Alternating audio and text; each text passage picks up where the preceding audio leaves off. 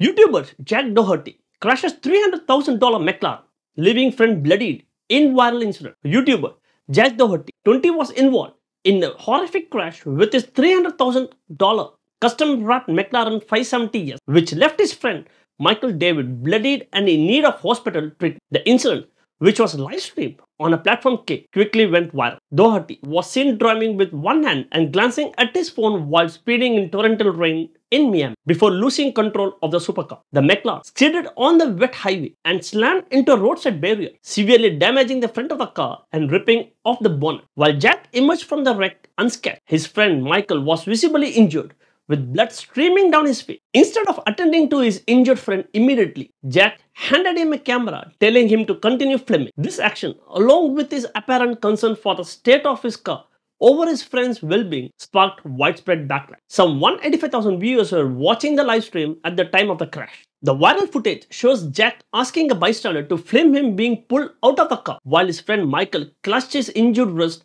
and blood purpose. Only after filming, Jack circled around to check on the Michael asking if he was okay. Many social media users, including influencer Corinna Kopf, criticized Jack's action. Jack has since been banned from Kick for violating safety guidelines, believed to be related to his phone use while driving. This incident follows previous controversy surrounding Doherty, whose YouTube channel, boosting 14.9 million subscribers, is known for pranks, stunts, and public challenges. His content has been widely criticized for its rude and provocative nature, often involving him harassing people in public for engagement. Just 10 months prior, Jack faced backlash for flipping a golf buggy while his girlfriend was in the passenger seat and sharing the footage online. Despite the controversies, his fanbase remains loyal, frequently defending his action in the comments and during live streams.